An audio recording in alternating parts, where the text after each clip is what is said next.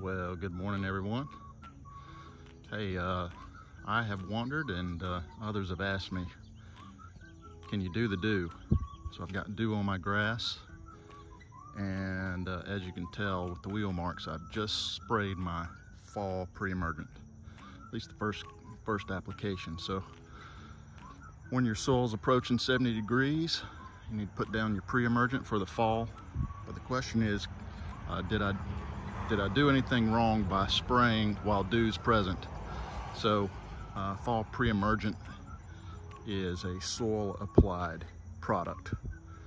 Uh, so, so no problems there because um, it, it, needs to be in the soil. But if I need to put something that is foliarly applied like a fungicide, I would want to apply that on on a, a dry turf.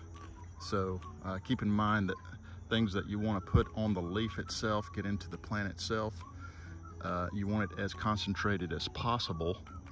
So the dew has about four gallons of water per thousand square feet. So that's gonna uh, dilute your solution even further, cause some runoff from the leaf into the canopy.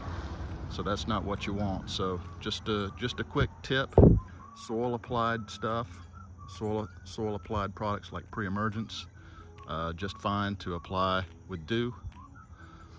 And the other products for foliar applied herbicides, uh, weed killers, uh, some fungicides, like for dollar spot, uh, apply that when the turf is dry. Triple T out.